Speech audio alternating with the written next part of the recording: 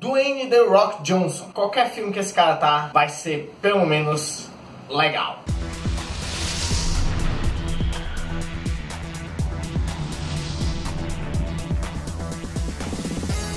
Então, maluco Baywatch, que é um filme baseado naquela série dos anos 90 e tal, Baywatch, onde tem os salva-vidas e a Pamela Anderson meio que correndo em slow motion e suspeito dela e tudo mais.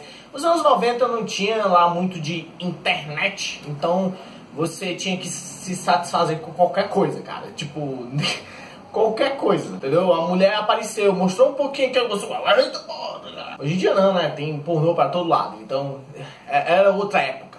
Aqui nós temos a equipe, entendeu? Que está patrulhando essa praia, chega o personagem do Zac Efron e tenta e se junta à parada. E temos um tipo de conflito interno, ao mesmo tempo a equipe se juntando para enfrentar meio que uma galera que contrabandeia drogas. Por quê? Eu não sei, não, não faz sentido. E essa é a parte legal do filme, porque eles não se levam muito a sério.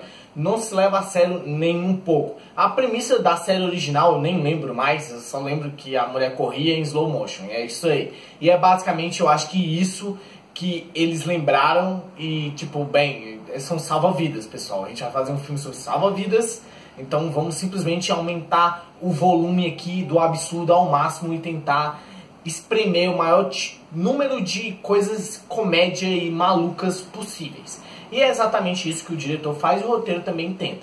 Algumas vezes erra, mas a maioria das vezes, para mim, pelo menos acertou. O filme também tem algumas partes vulgares, onde, tipo, tem algumas piadas meio que você olha e... Eh, algumas pegam, outras não. É tipo um filme normal, cara. Ele tenta fazer certas coisas, a maioria das coisas realmente baseia-se muito na sua preferência pessoal do que seria uma comédia, sabe? Porque ele tem uma classificação bem alta então espere coisas absurdas e vulgares nesse filme. The Rock, muito foda no filme, é a estrela, é o que carrega o filme. Também Zac Efron chegando e destruindo, cara. A primeira parte do filme, onde nós temos o Zac Efron e o The Rock tal, se bateando um outro, entre aspas, competindo. É, pra mim, eu acho a melhor parte do filme e eu achei legal, interessante, engraçado. O resto do filme é tipo, ok. É uma premissa absurda sobre uma série que Muita gente só lembra de uma cena, que seria uma mulher correndo em câmera lenta,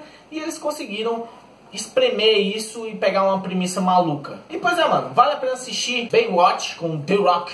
Sim. Vale sim, caso você goste desse tipo de comédia um pouco mais adulta e tal, e também um pouco mais extrema, não se importa muito com a parte vulgar da coisa, mas deva-se colocar de lado que o filme não se leva muito a sério, então ele é bem bobo e idiota a maioria das vezes. Se você gosta, eu acho que, sei lá, de American Pie, principalmente os posteriores, acho que talvez você goste bastante desse filme. E pois é, mano, não se esqueça de clicar nesses dois vídeos aqui para lugar de ver se os contrários e tudo mais. Também bota aqui embaixo o que você achou do filme, se foi bom, se foi ruim, se foi uma merda, eu não sei e tudo mais. Também estou jogando Necopara, então espere o próximo vídeo, jogando entre aspas, né? Porque é uma, uma visual novel e você não joga, você só clica e lê a história. Mas é tão bonitinho, cara. Hum.